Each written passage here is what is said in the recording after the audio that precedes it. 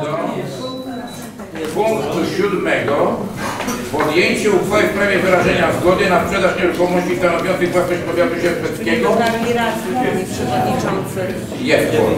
jest form. E, Tekst numer 4. Szanowni Państwo otrzymali materiały do tego tematu. Czy ktoś chce zabrać Tak. Dziewięć jest to jak. Panie, pan kierownik Wojciech Rzeszotarski. Pan naczelnik, bardzo przepraszam. Tak. Jest nieruchomości, o których zgodę na sprzedaż występuje zarzut. To są działki gruntu numer 165 o powierzchni 4,24 hektara i numer 199 o powierzchni 0,89 hektara. Są to działki położone w Studzieńcu, y, bezpośrednio nad rzeką Sierpienicą. Y, W studium y, gminy przeznaczone są na tereny zielone. Charakter jest w ewidencji gruntów są to łąki w większej części powierzchni. Y, No, działki te w tej chwili są y, w dzierżawie zespołu szkół w Studzieńcu, natomiast zespół szkół Studzieńców nie jest zbytnio zainteresowany ich- dzierżawą. Są to działki nadrzeczne i ma problemy z ich wykorzystaniem właściwym. Dlatego y, wniosek o zgodę na zbycie tych nieruchomości. Czy w tym temacie ktoś chciałby jeszcze z Państwa radnych zabrać głos? Jeżeli nie, przechodzę do treści uchwały. Uchwała Rady Powiatu Sierpnia dnia 5 lipca 2012 roku w sprawie wyrażenia zgody na sprzedaż nieruchomości stanowiących własność powiatu sierpeckiego. Paragraf pierwszy. Przeznaczyć do sprzedaży w trybie przetargu nieruchomości stanowiące własność powiatu sierpeckiego położone w obrębie studzieniec gminy Sierpc oznaczone numerami ewidencyjnymi działki. Y, 165 o powierzchni 4 hektary 24 setne, książka wieczysta 1 e i tak dalej, to punkt drugi, 109 o, numer 199 o powierzchni 089 y, o, wieczystej, tutaj jest określona. Łączna powierzchnia nieruchomości. 5 hektarów 13 setnych. Paragraf drugi. Sprzedaż nieruchomości nastąpi za cenę uzyskaną w wyniku przetargu. Paragraf trzeci. Wykonanie uchwały na udzielenie zarządu powiatu w sierpcu. Paragraf 4. Uchwała wchodzi w życie w dniu podjęcia. Kto z Państwa radnych jest za przyjęciem powyższej uchwały? Proszę podnieść rękę do góry. Kto jest przeciwny? Kto się wstrzymał? Przechodzimy do punktu następnego. Podjęcie uchwały w sprawie rozpatrzenia skargi na działalność dyrektora Powiatowego Urzędu Pracy w Sierpcu. Tekst numer 5. Państwo radni otrzymali materiały. Czy ktoś Państwa radnych do tego tematu chciałby się odnieść i zabrać głos? Proszę bardzo. E, Przewodniczący Komisji Rewizyjnej. Proszę, Pan Rektor. Dziękuję Panie Przewodniczący. E, e, Panie Przewodniczący, Szanowna Rado, Szanowni Państwo, do e, e, Przewodniczącego wpłynęła skarga na działalność e, dyrektora Urzędu Pracy w Sierpcu. W dniu 14 czerwca Komisja Rewizyjna, odbyło się posiedzenie Komisji Rewizyjnej. Na tym posiedzeniu rozpatrywaliśmy tę skargę. Zaproszona była zarówno pani dyrektor, jak i osoba skarżąca. Ta osoba skarżąca nie, nie skorzystała z zaproszenia. Pani dyrektor udzieliła wyjaśnień.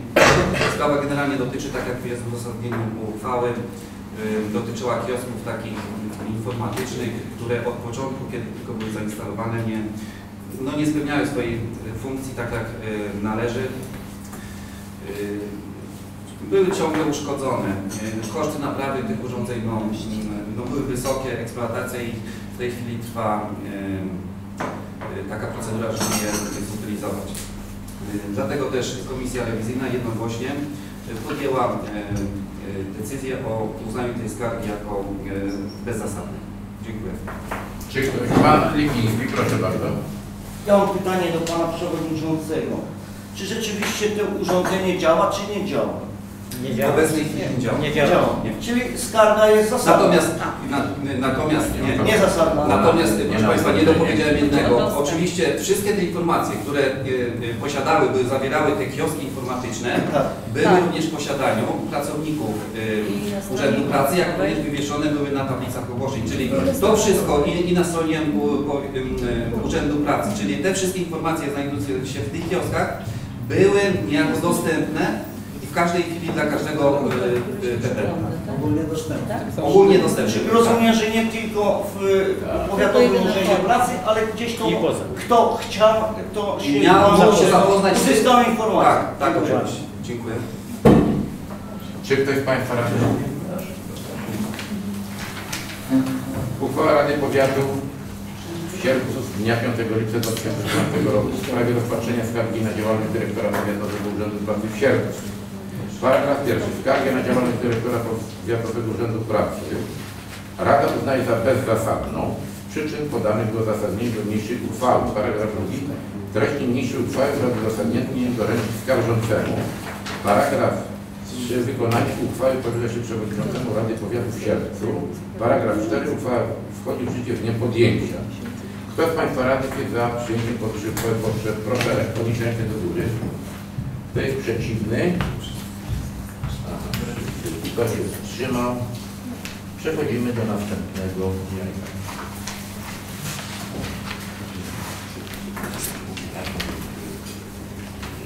Punkt. Jest to, proszę Państwa, informacja przewodniczącego. Więc y, tu pewne rzeczy już wynikły, które właściwie mógłbym przedstawiać, gdyż przesunięcie sesji było umotywowane pewnymi sprawami, że musiały wpłynąć dodatkowe dane dotyczące przetargów, ile środków zostało, itd. itd. To zrealizowaliśmy. Y, Żadnych tutaj y, do, do mnie nie było i do biura rady wpisów czy jakichś informacji. Więc teraz y, proszę. Aha, proszę Państwa, no i właściwie wiemy, że y, bardzo dużo przyłożyliśmy energii jako e, Rada Powiatu, równolegle też i Rada Miejska w sprawie obrony sądów, które e, no, w jakiś sposób osoba, no, powiedzmy, no jest ministrem, ale jeżeli chodzi o prawo, no ona soc- socjologiem, w jakiś sposób uznała, e, pan Gowin uznał, że jednak dobrze by było pozbawić te powiaty dużą część, tam było ich na początku chyba ponad 120 czy 30, teraz to się coraz zmniejsza. No, e, tego, że tak powiem, e, szkieletu, na którym bazowało utworzenie powiatu, gdy się mówiło, że jednym z takich bardzo ważnych elementów są sądy powiatowe. I nie mówi się, że, że sąd miasta Sierp, tylko się mówiło, że to jest sąd powiatowy. Rejonowy.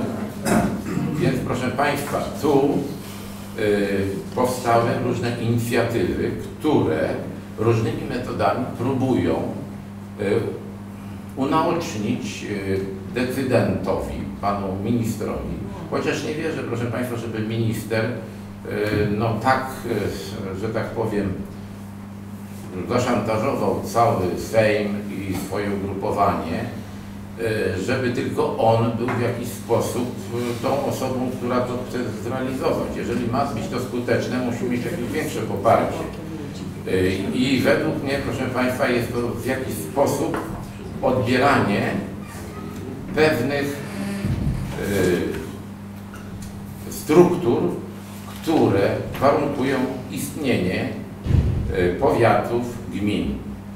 Y, My jesteśmy akurat, proszę Państwa, y, przedstawicielami samorządu terytorialnego i samorząd terytorialny, władze samorządu terytorialnego w postaci radnych, władz y, tych samorządowych y, są po to, żeby realizować y, potrzeby społeczeństwa. na danym terytorium. Więc te działania, które y, osłabiają, y, czyli jakby wycofywały y, tą służebność państwa w stosunku do obywateli, jest to niekonstytucyjne i dlatego też Piotr Zgorzelski, będący posłem i przewodniczącym Komisji Samorządu Terytorialnego, y, no oczywiście w oparciu o wielką rzeszę y, opinii prawnych i prawników, y, zawnioskował o zbadanie przez Trybunał Konstytucyjny zgodność tego, y, tej zmiany, którą Pan Gowin chce y, nam zafundować. Poza tym, proszę Państwa, powstała 27 czerwca y, marszałek Sejmu przyjął zawiadomienie o utworzeniu Komitetu Inicjatywy Ustawodawczej ustawy o okręgach sądu, y, sądowych sądów powszechnych, gdyż ustawa o okręgach sądowych sądów powszechnych jest nacechowana wieloma błędami. One właściwie teraz dopiero wynikły, bo nikt z poprzedników nie wyrokował czegoś takiego, żeby likwidować sądy. Jeżeli był sąd likwidowany, to w jego miejsce powstał inny. Było jedno zdarzenie, że jeden sąd zlikwidowano, ale w jego miejsce powstały dwa inne. Więc dlatego te pewne wady w tej ustawie no nie nabywały tej swojej negatywności w realizacji. Teraz dopiero się przebudzono, że te pewne niedomówienia w ustawie pozwalają w jakiś sposób na przeprowadzanie tych pewnych rzeczy. Poza tym, proszę Państwa, jest taka sprawa, że minister jest siłą wykonawczą. I yy, tak, a żeby zmieniać sądy, to nie może siła wykonawcza, bo przede wszystkim chodziło o to, proszę Państwa, żeby dany sędzia nie mógł być odwołany z danego przypisanego sądu. Nie może być przeniesiony. Bo w tej chwili, jeżeli będziemy mieli sąd w Mławie, chociaż to co słyszałem, to proszę Państwa z tej Mławy próbują zrezygnować na Płock, ale w ogóle te przeniesienie. Więc jeżeli będą jakieś filie, to nie może być sędzia w jakiejś chwili, bo on ma tu siedzibę, czy w Sierpcu, czy w Płocku. Czyli proszę Państwa, jeżeli by było w ten sposób, żeby można było sędziego odwołać w jakiejś sprawie, sędzia przedstawiał, który był narratorem tego, że w pewnej sprawie, w, w, w, kiedy wyrokowano o wyroku śmierci, y, o wyroku śmierci, proszę Państwa, za, to były lata jeszcze komunistyczne, kiedy skazano wyrokiem śmierci za przestępstwa tam, w tym, no jakieś tam mięsa były w jakiś sposób, wiem, y, za w jakiś sposób źle według y, sąd, sądu i tam tych rzeczy w jakiś sposób dysponowane, bo wiadomo, że to materiał strategiczny na kartki wtedy, to doszło do wyroku do wyroku śmierci jednego, ale właściwie za takie, za takie przestępstwo gospodarcze. Ale wcześniej był, była sprawa dotycząca skór. I wtedy, proszę Państwa, mimo że były zalecenia jakieś tam odgórne, sędzia nie zawyrokował wyroku śmierci. A dlaczego doszło do, do tego, że ten wyrok śmierci zaistniał? Bo po prostu tego sędziego przeniesiono. I na jego miejsce był inny naznaczony. I ta sprawa może być w przeniesieniu na te rzeczy. Jeżeli w jakichś politycznych sprawach sędzia czymś wykaże swoją, no, że tak powiem, no, niespolegliwość do jakiejś tam władzy, to można tego sędziego przenieść gdzieś indziej, bo, bo będzie on tam z jakiejś filii czy coś takiego. Ja nie jestem prawnikiem i jest, było to bardzo dobrze umotywowane, chociażby w tym temacie, dlatego zabrało mi to troszeczkę, że spojrzałem na to w ten sposób, ale tutaj właśnie jest kilka spraw. Sprawa, żeby do Trybunału Konstytucyjnego y, y, inicjatywę ustawodawczą o to, żeby uporządkować tą ustawę, która by czegoś tego nie pozwalała i dlatego też y, chodzi o to, żeby był nacisk oddolny i dlatego też zbiera się podpisy, proszę Państwa, pod tym, żeby no, nie doszło do tego, no że tak powiem, no jednak błędnego jakiegoś działania, gdyż analizując start, to proszę Państwa, możemy się spodziewać, że będą tworzone dwie Polski. Polskę wielkich aglomeracji, gdzie się poprzenosi te pewne różne sprawy. I druga, gdzie proszę Państwa nie będzie potem miejsc pracy, a tak jak na poprzedniej sesji żeśmy dyskutowali, jeżeli nie ma miejsc pracy, to i szkoły, które dzieci uczą i tak dalej, no nie będzie po prostu, że będzie tutaj olbrzymia dysproporcja. Olbrzymie obszary będą, bez miejsc pracy i będą wielkie aglomeracje, e, gdzie podejrzewam, no jakieś e, ugrupowanie polityczne widzi to swoją tam szansę, żeby innym ugrupowaniom z kolei, no jakąś nogę, no, nogę podstawić, jeżeli chodzi o elektorat. Ja to tylko w ten sposób prze- przekładam, bo rzeczy o osobowość prawną, historyczną i tak dalej, i tak dalej, bo widać, żeśmy dokumentowali w tym u- uargumentowaniu, jeżeli chodzi o nasz sąd.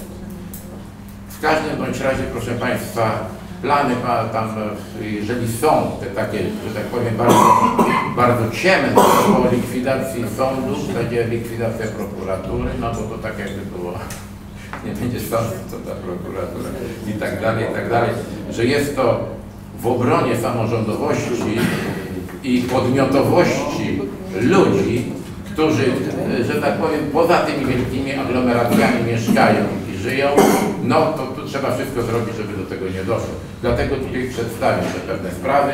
Są tutaj e, wzory, to znaczy się wejścia na internet, wzory do odbierania podpisów, no i e, ta e, inicjatywa e, społeczna czy ustawodawcza to musi mieć zebrać 100 tysięcy podpisów, ale widzę z tego, że im będzie więcej, tym będzie to bardziej takie e, widoczne. Więc to by było to moje przedstawienie, proszę Państwa. I teraz chciałbym przewodniczących komisji, żeby...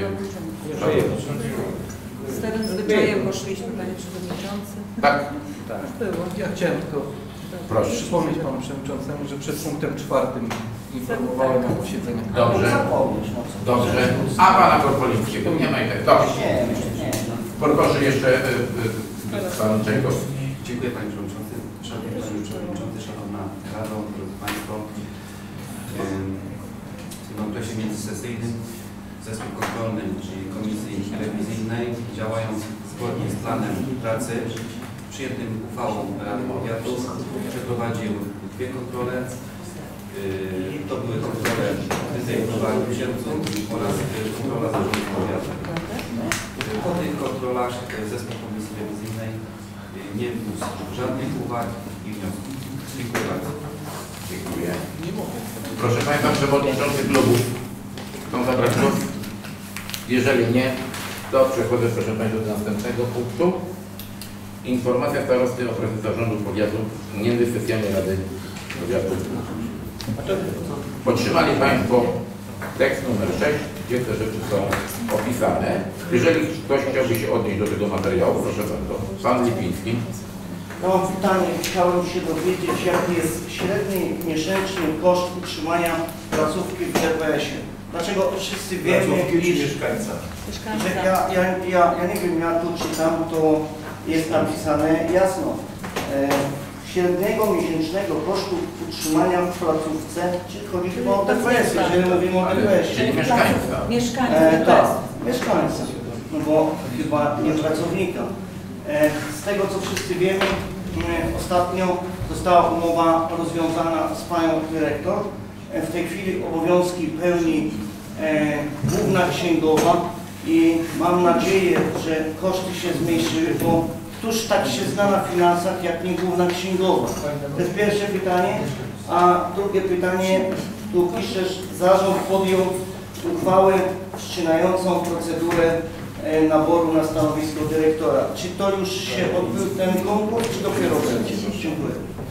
Czy jeszcze jakieś pytanie? Pan Pakieła. Ja mam dwa pytania. Pierwsze tyczy się również tego zdania, że Zarząd Powiatu podjął uchwałę wszczynającą procedurę naboru na dyrektora. Chciałbym się dowiedzieć, jakie są wymagania kwalifikacyjne dla tego stanowiska pracy. I drugie pytanie, to jest na stronie czwartej, przeczytam to zdanie. W związku z realizacją projektu Partnerstwo Lokalne na rzecz rozwoju gospodarczego subregionu sierpeckiego Zarząd Powiatu przyjął plan finansowy wydatków niniejszego projektu. Mam pytanie, jakie to jest, jakie są łączne koszta tego projektu i czy, ile to kosztuje starostwo, ile jest dofinansowania z zewnątrz. Dziękuję bardzo. Czy jeszcze ktoś ma jakieś pytania? Proszę Panie Proszę. Ja chciałbym doprecyzować, Panie Radny Pakela, przepraszam, w pierwszej kolejności Pani Agnieszka wyszła, bo forma konkursowa, opisowa jest bardzo szczegółowa, bardzo duża naboru na dyrektora DPS-u, więc jeżeli Pan Radny chciałby się z tym zapoznać, to ja uważam, że musiałby to przeczytać, ja bym musiał co najmniej 15 minut poświęcić na przeczytanie tego dosłownie, jakie wymagania, jakie wszystko to jest sprecyzowane. Jeżeli taka jest wola, to proszę bardzo, będziemy czytać. Zacznę od Pana Radnego Wietnickiego. W tej chwili podano już, takie uszczegółowione, ale jest w granicach około 3000 koszt utrzymania jednego pensjonariusza, 2900 i tam z jakimś ułamkiem. Nie pamiętam do końca, ale wiem, że między 2900 a 3000 zł. To jest wyliczenie, to przedstawia nam y, DPS, Dom Pomocy Społecznej. I my to zatwierdzamy, ponieważ jest to potrzebne do tego, żeby ubiegać się o dotację Pana Wojewody na tych pensjonariuszy, którzy są pensjonariuszami wcześniejszymi z dofinansowaniem Pana Wojewody. Bo teraz pensjonariusze dzielą się na to, tych, co są dofinansowaniem Pana Wojewody i na tych, co są z dofinansowaniem samorządu lub rodziny. I wtedy też ustalamy to, żeby ewentualnie tą część, którą pensjonariusz płaci sam ze swoich dochodów, resztę uzupełnia albo Pan Wojewoda, albo uzupełnia samorząd, czy, czy, czy, czy uzupełnia rodzina. Chcę powiedzieć, że koszt utrzymania w naszym domu pomocy społecznej jest jednym z niższych kosztów y, w stosunku do innych domów, które działają w naszym regionie utrzymania pensjonariuszy. 3300 na 939. 2938, 2939 zł 18 groszy, dos- dos- dosłownie tyle, tyle to jest u nas ustalone. Natomiast y, było druga część pytania, został ogłoszony nabór. Tak, został ogłoszony nabór, podania wpływać miały na dyrektora DPS do dnia 29 czerwca, jednak ze względu na to, że część mogła płynąć jeszcze też pocztą, Dopiero wczoraj na zarządzie żeśmy dokonali otwarcia ofert. Wpłynęły cztery oferty. Jest to, jest to dokonane otwarcie tych ofert. Jedna oferta, Pani Agnieszka, Pani Agnieszka, jedna oferta z przyczyn formalnych nie spełniała przyczyn formalnych, ponieważ jedna osoba nie miała odpowiedniego wykształcenia i, i, i stażu pracy do wykonania tej funkcji. Natomiast trzy osoby zostały zakwalifikowane do dalszego przesłuchania, można tak powiedzieć, ponieważ żeśmy y, zaprezentowany materiał przez te osoby jest bardzo obszerny, ponieważ postawiliśmy kilka punktów, które musiały do tych punktów się odnieść. Y, I zaraz powiemy, jakie to punkty. I przeczytać trzeba troszeczkę papierów, dlatego daliśmy sobie czas do 24 lipca, żeby zapoznać się z tymi dokumentami i na 24 lipca na godzinę 10 są wyznaczone pierwsze przesłuchania tych osób. No, po tym będziemy wiedzieli, czy osoby te no, będą w miarę dobrze pełniły funkcję, czy, czy będą mogły być zakwalifikowane, czy ewentualnie nie zdecydujemy po tym terminie w tej chwili, czy się jest. Panie Agnieszko, i te, Wymagania, to są zgodne z ustawą, a to są nasze wymagania. Państwa wymagania, jakie, które były, czy dasz te wymagania Panie Radny Pakieła? Nie, ja już przekazałam panu radnemu. Dostał. Dostał. Książkę już dostał. jest to, jest to tyle dokumentów, jeżeli Pan Radny sobie życzy, jest Nie, nie, nie. Już dałam. Czy Pan Adam to Tak, ale trochę mnie zaniepokoił radny Ociecki. Mówi, Ja mogę napisać znów, kto zostanie. No, Tak, to prosimy. Czy to jasno? no niech napisze, niech napisze, zobaczymy, może się sprawdzi. Prosimy. wiem. Stawiamy zakłady A jak To euro nie jest euro euro? 2012. Euro jak mu się sprawdzało? i, da, Wszystko i, da, i dam gwarancję, że się Panie, pomyli. Panie przewodniczący, Ja tylko pan, mogę chce powiedzieć- wiedzieć jak mi się euro sprawdzało, to do mnie pytania. Ja tylko, Nie, no, jeszcze, ja tylko mogę dołożyć to, że wśród tych trzech osób, które zostały, są dwie kobiety i jeden mężczyzna. Jeżeli to ktoś pomoże, taki duży. jest zachowany. Nie, nie, ale Nie, Jarek No, do Pan Paweł Pakieła, proszę. Ja chciałem przypomnieć, że jeszcze jedno pytanie zadałem w sprawie planu finansowego. Już przepraszam. Proszę Państwa, plan finansowy to odpowie skary, bo na finansach to on się tym zajmuje i ma wszystko w głowie, a tylko ogólnie chcę tylko powiedzieć tyle, że ten projekt na drugą część pytania jest finansowany ze środków zewnętrznych cały, całkowicie. My jako powiat nic swoich środków nie do tego, do tego projektu nie dokładamy. Jak już jestem przy głosie, Pan Pakiewa to wywołał. Odbyliśmy pierwszą konferencję w poniedziałek, wtorek. Wczoraj jej było takie zakończenie y, przez delegację z miasta Złote Morawce ze Słowacji, gdzie były dwie konferencje poświęcone. Wszyscy Państwo radni byli zaproszeni na konferencję poniedziałkowo, ale przykro, że tak mało radnych na tej konferencji poniedziałkowej było, a było warto posłuchać i czegoś się więcej dowiedzieć. Nawet i o tych miast, o tym mieście, bo zaczynam mówić po słowacku, miasto. Y, Te miasto, będą też wyjazdy studyjne do Słowacji, więc zobaczymy jak to będzie ułożone. Wtedy zapraszamy. A jeszcze raz ponawiam Panie Radny Adamie propozycję i prośbę. Chcielibyśmy spotkać się z przedsiębiorcami miasta Sierpca. Prosiłbym o pomoc do tego spotkania, ponieważ w tym projekcie między innymi też będzie opracowanie strategii, też będzie opracowanie strategii w kierunku możliwości zagospodarowania naszych terenów inwestycyjnych. I chcielibyśmy włączyć w to sierpeckich przedsiębiorców, żeby później też mieć jakieś możliwości, bo proszę Państwa, nie ukrywamy, że w tej chwili po zgłoszeniu naszych terenów inwestycyjnych do ARMSy, a więc Agencja Rozwoju Mazowsza, zaczynają wpływać pewne do pytania, pewne informacje, udzielenie już bardziej szczegółowych informacji, zaczyna być jakiś ruch w interesie, bo przez wiele lat. Nikt nie wiedział o tych terenach inwestycyjnych, więc jeżeli coś się pojawia nowego, to jest zainteresowanie. Dlatego prośba do Państwa, no kieruję kolego Adamie po raz następny. Jakby się udało, ja nie mówię duża grupa, na początek zacznijmy ze sobą rozmawiać, a dalej będziemy coś z tego można wyjść. Bo chodzi o to, żeby, żeby tym projektem zarazić i przedsiębiorców, bo w tym projekcie też są pieniądze na to, żeby przedsiębiorcy mogli podjąć wymianę nawet tą częścią Słowacji, a oni są bardzo otwarci na rodzaju formy współpracy. Więc chcielibyśmy, żeby też to zaczęło funkcjonować. Czy ktoś jeszcze... Ale może dokończy skarbnik o finansach. bo- Panie Przewodniczący, Szanowni Państwo, kwota, którą uzyskaliśmy ze środków unijnych to jest 821 tysięcy złotych. To było przyjmowane na poprzedniej sesji y, przez Radę. Y, Natomiast plan finansowy tych wydatków to jest przyjmowany przez zarząd tylko po to, żeby można było prowadzić ewidencję księgową. Po prostu te wydatki są nie wykazane w jednej pozycji, tak jak w uchwale budżetowej, że to są wydatki finansowane z udziałem środków europejskich w całej kwocie, natomiast nie do celów ewidencji księgowej potrzebne są wydatki w pełnej klasyfikacji budżetowej. Dział, rozdział, poszczególny paragraf. Dziękuję. Pan Radny Ociński. Panie starosto, ja mam pytanie związane z DPS-em. Pan powiedział nam ładnie, że dwie kobiety, jeden mężczyzna. Ja mógłby Pan uchylić rąk dla tajemnicy, czy to są osoby z Sierpca, czy z innych miejscowości? Bo mamy... Nawet pytam, Nie może, tak? powiedział. Bo mamy taki napływ do szpitala ludzi z Płocka, może i tutaj też, no nie wiem. Nie, postawiłem bramę. Mogę powiedzieć. Proszę. Tak jak Proszę odpowiedzieć. pan mecenas podpowiada, Nie ma osobowo nie możemy w tej chwili Nie, nie, tylko miejscowość. Zresztą jest jedna, jedna osoba, panie radny Odziński, zastrzegła sobie, W ogóle, żeby że jeżeli ona w konkursie nie wygra, Nie za, można po prostu nie można udostępniać jej danych osobowych w ogóle, a więc tu byśmy złamali prawo i byśmy mieli kłopoty innego rodzaju.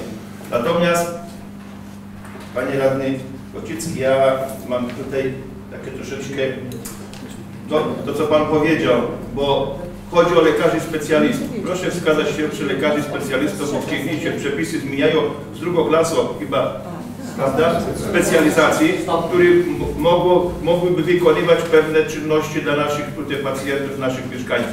Musimy nie mówić, że tylko to jest Lion z Płocka, tylko musimy ich przyjąć, bo oni po prostu są potrzebni dla naszych pacjentów. Bo my, a nawet co z Opola, z Włocławka, w tej chwili tylko z Płocka. Bo w tej chwili jest po prostu na rynku lekarskim jest, jest po prostu dosyć duże brak lekarzy, może tak powiem.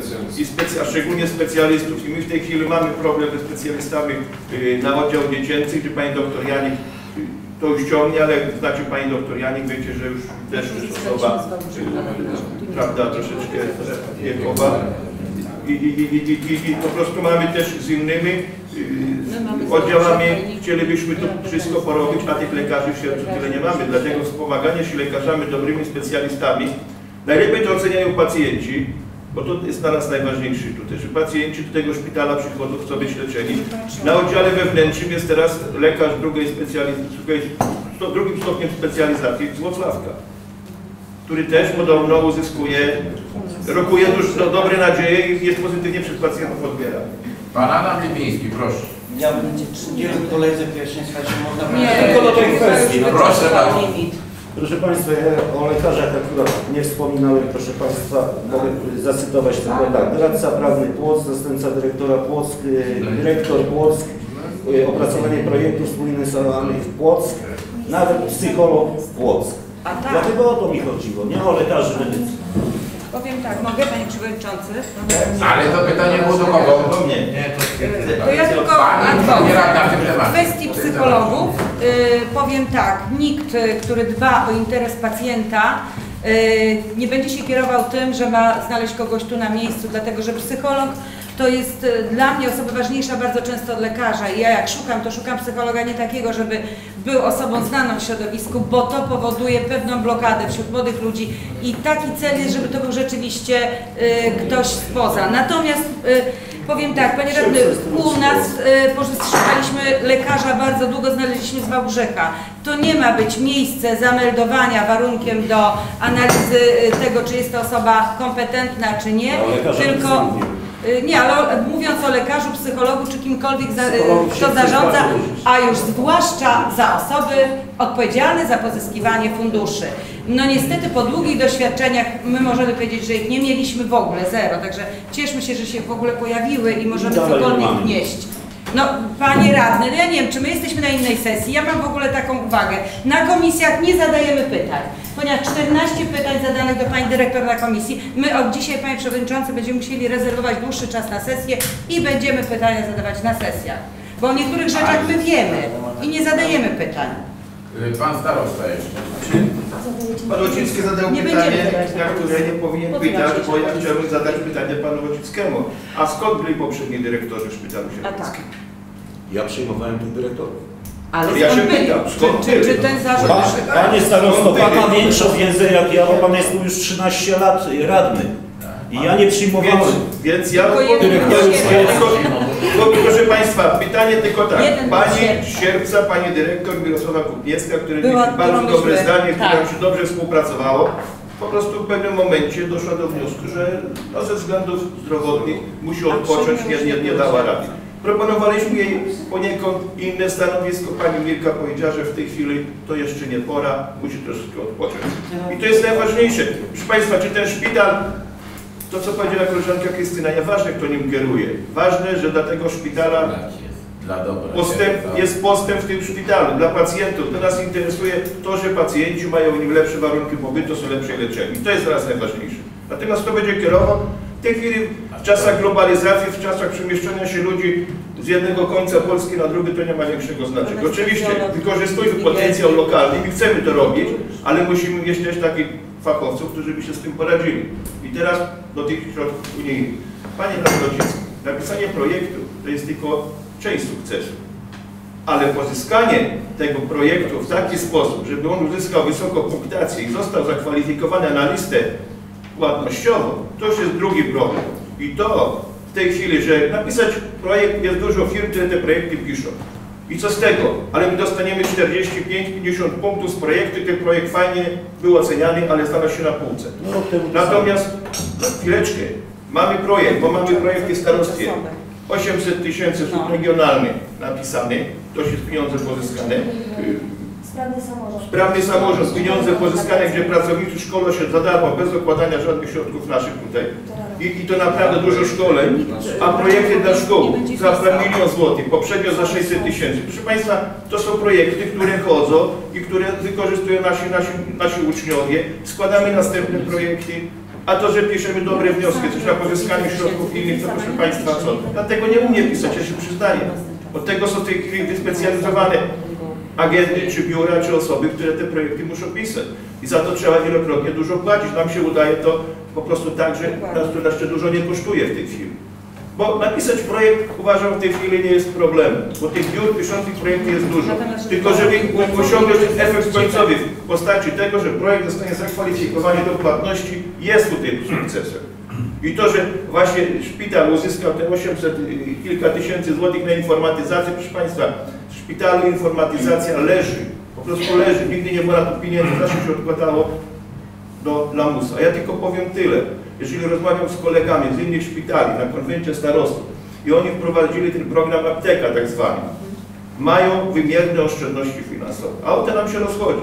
Bo my na ludziach tam nie mamy co oszczędzać, bo jeszcze Państwo widzicie, że trzeba przyjąć, żeby zabezpieczyć dyżury, a w tej chwili jeszcze jest jeden problem, o którym Pani Dyrektor nie mówiła dzisiaj na sesji, ale za chwilę wejdzie ustawa o zatrudnieniu pielęgniarek, gdzie będą stworzone limity, gdzie my tych limitów nie będziemy mogli sobie tak balansować, prawda? Tylko będzie sztywno określony limit, czy jak to się inaczej nazywa fachowo, ilość pielęgniarek, która będzie musiała być tam na poszczególnych oddziałach i na poszczególnych Ilość metrów na pacjenta od 2014 Proszę Państwa, no to, no to, no to są wymogi, które będziemy musieli spełniać. będzie zarabiał nie milion dwieście, Dlatego, tylko 800 dlatego jeżeli my wcześniej ten szpital przygotujemy do tych problemów, pomożemy, to będziemy mieli później nie z nim problemu.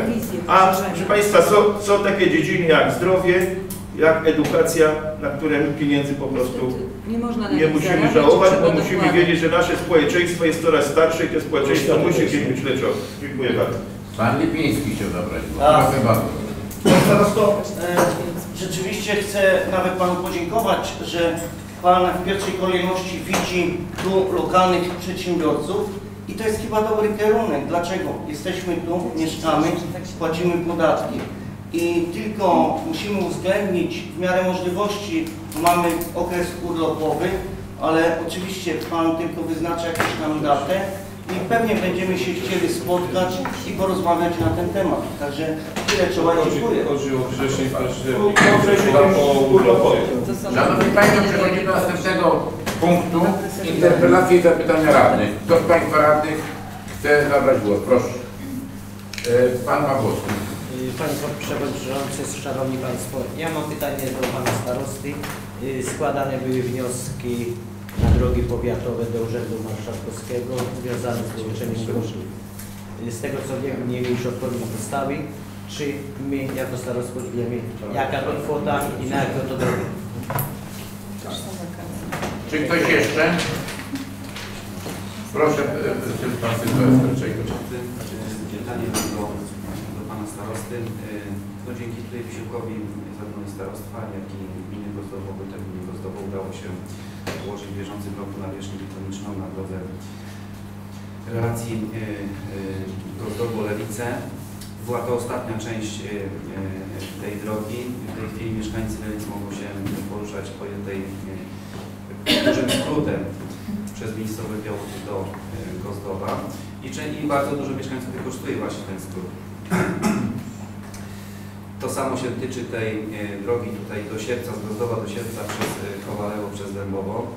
To są w tej chwili do Sierpca bardzo wielu mieszkańców jeździ właśnie też e, drogą przez Kowalewo i przez Dębowo, gdyż jest po prostu no, mm, to tak w lepszym, lepszym, lepszym utrzymaniu. Natomiast właśnie odnośnie tego utrzymania bieżącego w szczególności, jeżeli już mamy to połączenie komunikacyjne tak, tak dobrze rozwiązane, to y, czy jeszcze chciałbym, żeby o te połączenia zadbać, czyli, y, czyli to, żeby to było to wygaszanie y, na bieżąco tych poboczy, y, krzewów y, w drogach przydrożnych, y, czy, czy y, bez wyłapania jakichś spękań, czy tam drobnych, drobnych y, takich y, nierówności. Mamy super inwestycje, fajne drogi, ale, ale jeszcze chciałbym, żeby na bieżąco były, były, były utrzymywane. Dziękuję bardzo. Mogę Panie Przewodniczący? Pierwszy raz. Pierwszy raz w tym punkcie. Nie, tu możesz. Dziękuję bardzo. Panie starosto, ja już od dwóch lat mówię o tych sławetnych studzienkach na ulicy Konstytucji. To są zalane asfaltem, one się już praktycznie pozapadały po 20-30 cm. Tam naprawdę z zarolem trzeba jechać. Wiem, że policja mówi, że do zatrzymania człowiek, który jedzie prosto, a nie ten co slalomem. Ale bym chciał wiedzieć, kiedy to w końcu zostanie zrobione, bo to już od dwóch lat jest sygnalizowane i tak jak jest, tak zostało ulica, która jest najbardziej ruchliwa moim zdaniem w Sierpcu obecnie, bo wszyscy objeżdżają ten centrum Sierpca tymi ulicami Konstytucji Praudówka. Prosiłbym w końcu się dowiedzieć, kiedy to zostanie zrobione. Pan Lipiński. Jeżeli mówimy o drogach, to ja chciałbym dwa słowa na ten temat. Wiemy, że będzie remontowana droga Ligowo-Sierpc. I teraz e, taka moja prośba, bo pewnie do jakichś granic Sierpca będzie wyremontowana. Ja nawet nie wiem dokąd, pewnie Pan Starosta odpowie, ale czy by się nie udało zrobić dalej tej dworcowej, bo tak, jedziemy sobie fajną drogą, będziemy jechać z Ligowa, wjeżdżamy do miasta Sierpca i jest katastrofa. Przecież tam przy kolei nie idzie jechać. W związku z tym rzeczywiście, czy y, ja nie wiem jak to jest możliwe nawet technicznie przesunąć te środki, które mamy zapłacić e, na Żeromskiego, a w tej chwili może coś nie, nie ma, okej, nie wiem, ale bardzo bym prosił, żeby nad tym tematem się pochylić i no to bo, bo to będzie się gryzło, prawda? Dziękuję. Czy jeszcze ktoś z Państwa? Proszę Starosto. Drogi dużo. Dużo się gryzie. Ale zacznę od, od, od y, radnego Pawłowskiego po kolei. Tak jest. y, Dzisiaj przyszło, czy wczoraj, wczoraj, tak? Decyzja dyrektora Departamentu Rolnictwa i Rozwoju Wsi o przyznaniu dofinansowania z dawnego FOGU, ja mówię na skróty. Też kwota 50 tysięcy złotych to i też jest to dofinansowanie drogi chwały. Y, gmina Rościszewą, kierunek, drogi, kierunek drogi wojewódzkiej 561 na tym odcinku. Będziemy z wójtem rozmawiali dalej i będziemy ogłaszali przetarg, jak już go, ale musimy y, to też Stasiu przyjąć tak do budżetu, tak, i dopiero to już będziemy to, to będzie robione, bynajmniej w tym roku to będzie zrobione. Teraz tak, droga Białuty, droga Białuty-Lelice, ja wiem, bo tam jeździłem specjalnie, że ten kawałek, on się nam od kilku lat już przewraca, na odcinku około tam 200, może 150 metrów. Dzisiaj będzie wójt, będziemy o pewnych propozycjach z wójtem rozmawiali, zobaczymy co wójt nam odpowie. Jeżeli będzie jakaś możliwość wspólnej inwestycji, to może, może być udało nam się to jeszcze y, też to zrobić. Jak nie, to będziemy, panie radny, chcieli to zrobić tak jak w tamtym roku, naszym remonterem, taką nawierzchnię, za tych powierzchniową dać na tym odcinku, gdzie ta droga ulega no, przewróceniu po raz następny, żeby była przejezdna, bo wiem doskonale też, że tam w tej chwili cały ruch Sierpca Gozdowo i z Lelic do Gozdowa na tą drogę się powiatowo przerzucił, a więc jak dobra droga, to od razu większy ruch i większe, większe problemy. Natomiast w tej chwili z tego, co tam kierownik z Zarządu Dróg Powiatowych mówi, koparka jest na Gozdowie i przez dwa tygodnie będzie pracowała. Odnośnie poboczy, no mamy problem, proszę Państwa, bo mamy tylko dwa ciągniki. Jest to ten ciągnik 60, który w tej chwili kosi rowy i ten drugi, ten no, Lombardzini, który też kosi rowy, ale my tych rowów to mamy, ja mówię, po dwóch stronach ponad 800 km. I te dwie kosiarki przejechały raz i w tej chwili trzeba już jechać drugi raz, bo ta trawa właśnie w tym roku robi w sposób taki, że prawda, że trzeba to szybko kosić. Więc nie możemy go odpiąć od kosiarki, podłączyć pod, pod, pod ścinanie poboczy, ale też ścinanie poboczy w okresie tym późniejszym będziemy chcieli robić, też uzgodnimy te drogi, żeby, żeby też ten stan tych dróg utrz- utrzymywać. I proszę Państwa, mając trochę rezerw z tych środków po, tym przetargu, który się odbył na drogę Ligowo-Sierp, skarbnik przesunął środki do zarządu dróg powiatowych na zakup nowego rębaka. Jest to 65 tysięcy, zamówiony już rębak w tej chwili. I taki o własnym, o własnym silniku, nie napędzie, tylko, tylko o własnym silniku, takie jak mają firmy, które y, właśnie y, no, zajmuje się tym, tym rodzajem usług, ponieważ był w zarządzie dróg kupiony rębak, kiedyś tam, nie wiem w którym roku, jest to rębak nowy, prawie nieużywany. Ale my go nie możemy odsprzedać, bo nikt nie chce go kupić, a po drugie on się nadaje do użytku, ponieważ ludziom ręce poobcina. I dlatego on stoi nieużyteczny i, nie wiemy co z nim zrobić na razie, bo to jest nowe urządzenie, nawet, nawet farba z niego nie została starta.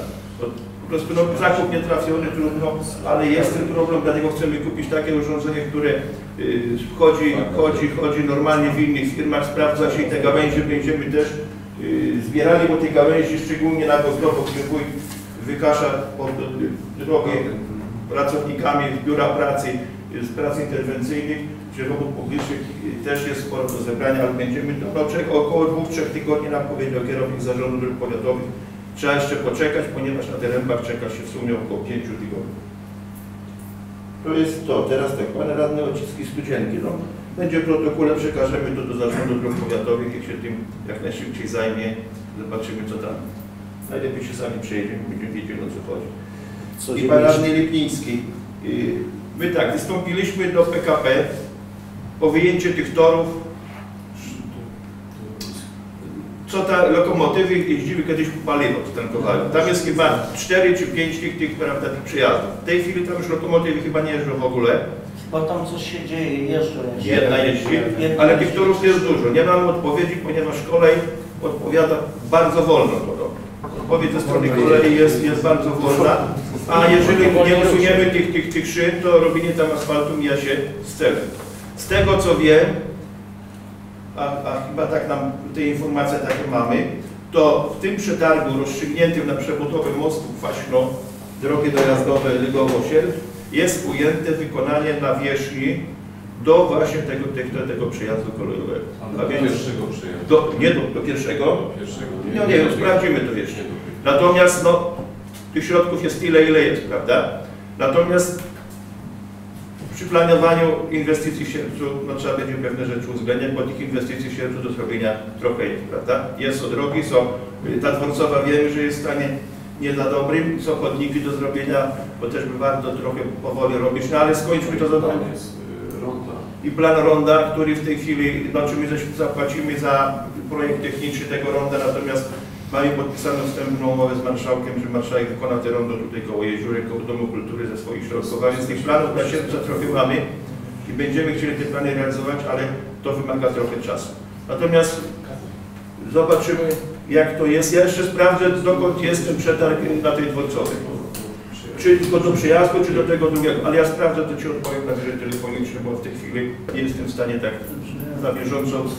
Bo w przetargu startowało proszę Państwa 9 firm. W tej chwili firmy nie mają za dużo roboty. I najtańsza oferta była 4200, to też nie była jakoś niedomówień. Wygrała firma za 4 miliony 200, to skarbnik czytał tam bez paru groszy. Natomiast najdroższa oferta była 4, prawie 5 milionów.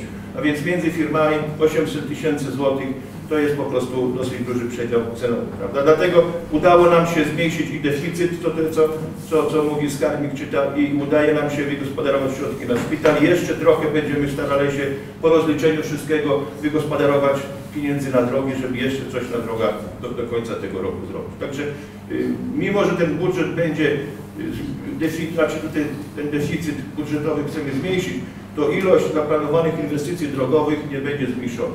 Będzie wykonana tyle, co żeśmy założyli na początku roku, a może uda się jeszcze to zwiększyć. Mówię, może się uda zwiększyć, bo jeszcze, jeszcze liczymy, że może coś tam się uda nam, prawda, gdzieś tam wydukać. I, jeżeli wójtowie by mieli jakieś środki na wspólne sfinansowanie, to może jeszcze troszkę byśmy tam tych dróg zrobili więcej. Także ja, ale ja zadzwonię po sprawdzeniu, jak to tam wygląda przetarg. Pan Ociński. Pan Przewodniczący teraz. Panie starosto, Pan powiedział mi odnośnie tych studzienek lakonicznie, ja nie wiem, o, przez dwa lata Panowie, to jest przy CKP-ie, nie jeździliście tamtędy, nie widzieliście jaki jest stan tych studzienek i Pan mówi teraz mi, że dopiero Pan powie, że zobaczy i tak dalej. Przecież to jest nie od e, wczoraj, nie od tego, tylko to jest w ciągu dwóch lat aż jest i to, ten stan istnieje. Jeździcie do CKP, to chyba wiecie, Pan odpowiedział zobaczę i wtedy zobaczymy co będzie. Ja powiedzieć konkretnie, bo to dwa lata czekać na to, żeby te studzienki ktoś komuś Proszę badał. zadać pytanie. W końcu, kiedy to będzie zrobione, bo ktoś urwie koło i przyjdzie do Pana o odszkodowanie. Pan Lipiński. Panie starosto, e, fajnie, że tak się stało, czyli e, jest dużo kontrahentów i ta suma, którą musimy zapłacić za wykonanie e, tej usługi jest niska, dlatego ponawiam prośbę, bo właśnie ten od tego przejazdu, ten zakręt, tam jest tragiczna. Może nie czekajmy na to, co kolej odpisze, bo nie wiadomo kiedy odpisze, ale chociaż do kolei, żeby jakoś to doprowadzić.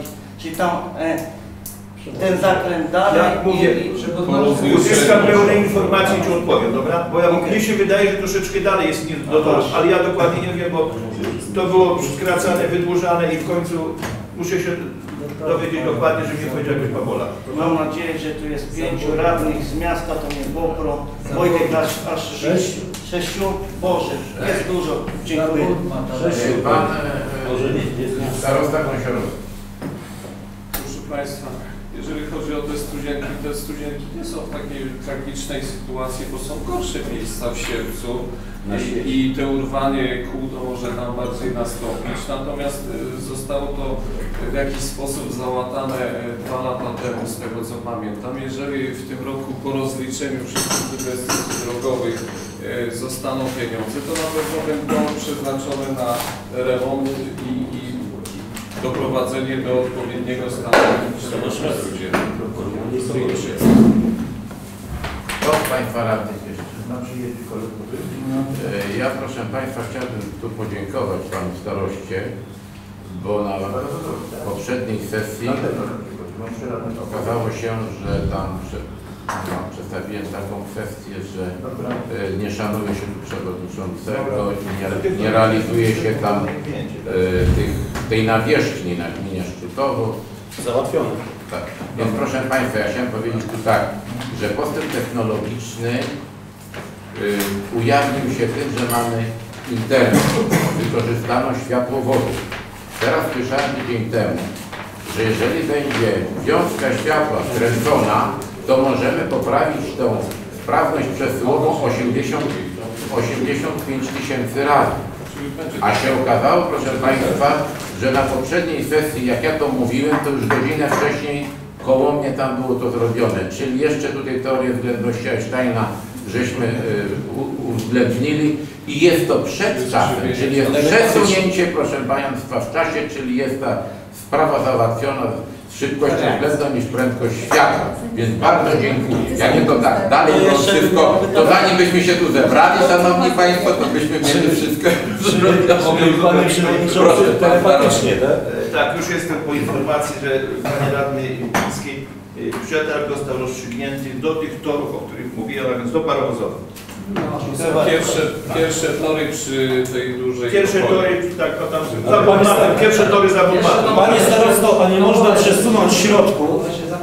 Środków nie można przesunąć i żeby to dokończenie było, bo naprawdę, tak jak Adam mówi, no będziemy jechać, piękna trasa, naraz plac, doły wpadamy i tak dalej. Czy nie można tych środków przesunąć z innych inwestycji? Po rozliczeniu Po rozliczeniu zawsze zostają pieniądze. Z tego co ja wiem. Ale Jarek, tam muszą tory powyrywać na tym, na bocznicy. Tak, jeżeli będziemy czekali na odpowiedź, Dobrze. rozumiesz, Czy z ktoś- kolei, no to... ale to- w innej kwestii, czy Ja jeszcze do Pan pana, Wojciech, ja bym miał prośbę do pana przewodniczącego, jako że pan reprezentuje gminę Szutowo, panie przewodniczący, y, zwróciła się do mnie rodzina, gdzie jest dwójka osób niepełnosprawnych, mają problem z dołączeniem wody. Ta sytuacja już trwa, to jest na Mościskach, ta sytuacja już trwa od kilku lat. Ja bym prosił, gdyby pan mógł w jakiś sposób zainterweniować, żeby po prostu można było tej rodzinie pomóc. Nie, Proszę, proszę, Państwa, ta y, gmina Noś, y, ta to się wieś y, Mościska, tam realizowaliśmy y, drogę 50 na 50 w porozumieniu z gm- z gminą. Y, I tam jest robione powiedzmy na jakieś 60, 70%. Zostało 500 metrów do dziesiątki. Zostało 500 metrów do dziesiątki, tylko się okazało, że tam jest niepołożony wodociąg. I to gmina na siebie wzięła, wzięła pożyczkę jakąś i ma te wodociągowanie uzupełnić, bo tam jest kilka budyn budynków po tej stronie drogi dziesiątki i po tamtej. Więc jest to, my czekamy, jeżeli chodzi o to, żeby realizować, proszę Państwa, ewentualnie dokończyć nitkę asfaltową, ale w gestii gminy jest to na wyciągnięcie ręki, kiedy będzie to zrealizowane, te uzupełnienie e, tego wodociągowania. Więc z tego co wiem, to panu radnemu rektorowi odpowiadam. Że jeszcze trochę rzeczywiście, no ale w stosunku do tych paru lat do tyłu, gdzie wszyscy mieli wodę dookoła, to nie było, to już będzie no na pewno w tym, w tym roku. Więc proszę o interwencję. Tak jest, no, będziemy przez, przez radnych. Czyli gdzie gorzej. Czy ktoś z Państwa radnych, jeżeli nie, to przechodzimy do spraw różnych. Czy ktoś chce zabrać głos, ale myślę, że tutaj w tych interpelacjach to były najróżniejsze rzeczy, więc chciałbym proszę Państwa zamknąć. Zamykam 24. sesję Rady Powiatu. Dziękuję. Danego lotu Za życzenie. Biuro